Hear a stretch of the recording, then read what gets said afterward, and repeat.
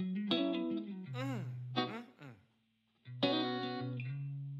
So sweet. Living in this big blue world with my head up in outer space. I know I'll be a-o, a-okay. I know I'll be a-o, a-okay. When I see trouble come my way, I'll be making lemonade.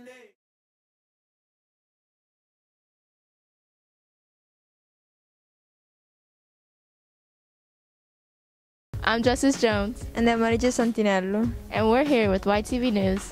getting a closer look on Spirit Week.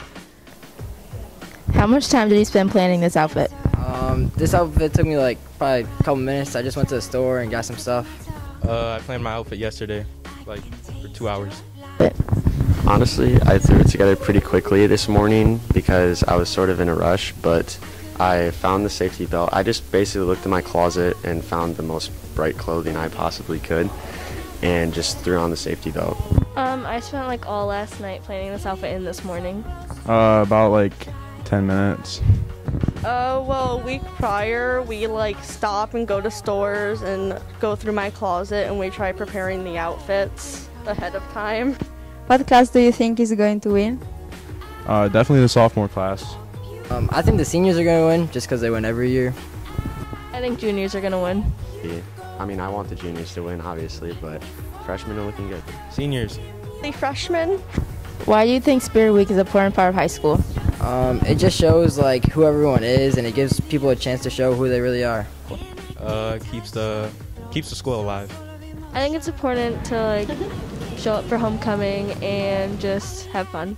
It's something fun, something different, and it bonds us all together.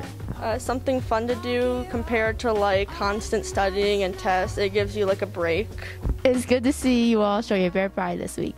I'm Justice Jones, And I'm Marija Santinello. reporting here from Wy-Tv News. And now back to you. Biology rules. Woo!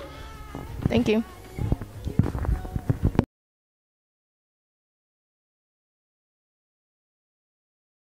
Reporting for Wy-Tv News, I'm Yasmin Gonzalez. During last weekend's homecoming, our students bought and wore Teddy's products.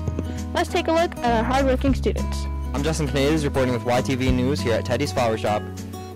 As they prepare for homecoming, I'm here with Cassidy to get the inside scoop. Uh, I'm Cassidy. I'm a floral student and I work here in Teddy's. How is Teddy's preparing for homecoming sales?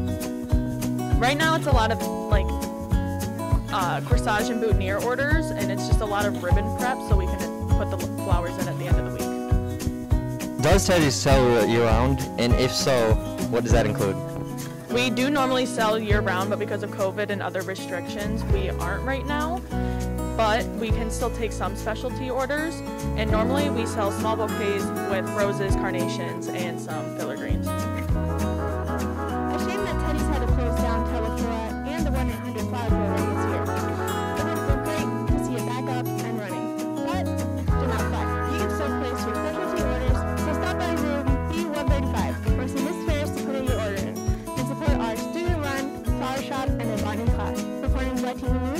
News, I'm Gonzalez. Back to you.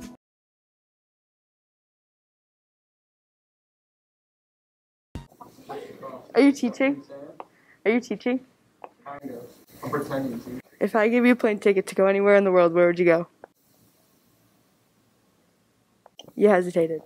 It's supposed to be quick. Egypt. Why? Pyramids. Math. Don't walk away. Don't walk away. Antarctica.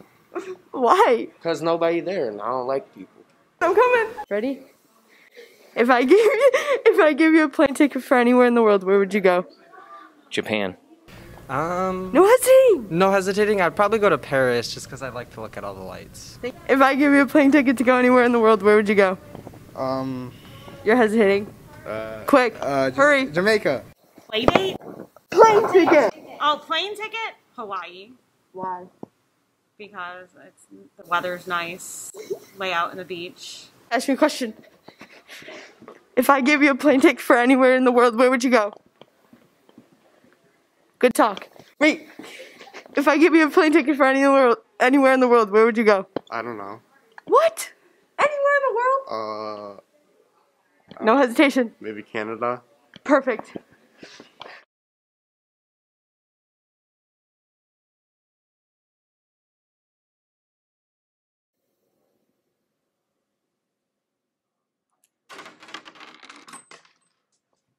Could you do this RHS?